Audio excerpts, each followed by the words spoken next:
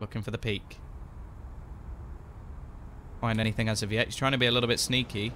Nobody actually spotting him. How sneaky can he really be? The flashbang going to come out. ChrisJ will be the one to peek, but goes down instead. And this gives a rough idea to Xizt where his opponent is going to be as well. ropz is making his way back around. Sunny goes down to GeT_RiGhT. Already back into, whoa, a 3v1. Let's see how good that oskar AWP can be. Never mind. He's running away from the troubles in his life. As Craig David once said.